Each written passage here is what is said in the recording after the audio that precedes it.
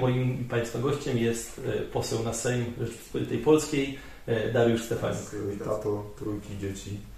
W związku z tym e, te same problemy, bo wiem, że mamy dzieci w podobnym wieku. Do 18 roku życia tam spędziłem całą swoją młodość i dzieciństwo. I po drodze ta szkoła muzyczna, która się często kończyła o godzinie tam 18-20, a wtedy była przeniesiona na ulicę Sidorską, jeszcze w parku był remont. E, Tutaj mogę do wszystkich e, rodzin polityków i do wszystkich e, mężów, żon mm, polityków powiedzieć super, super, że jesteście, bo bez was byśmy sobie rady nie dali. No właśnie nie było to Chicago. Chicago to już tam rodzinnie i zwiedzanie, natomiast to była mm.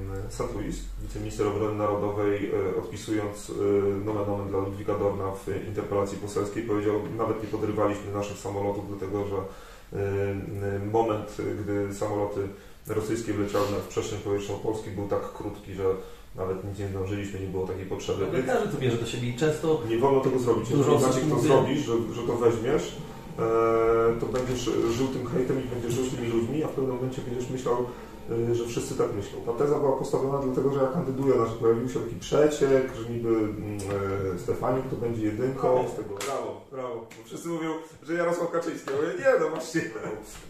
Michał Litwiniuk, który ma do mnie telefon, bo ja tego telefonu nie zmieniłem, nigdy do mnie nie zadzwonił ani nigdy nie zapytał mm, o cokolwiek. Raz na sesji Rady Miasta poprosił, żebyśmy razem z Grzegorzem mm, zainterweniowali w sprawie mostu na co uczyniliśmy i dotację dostał.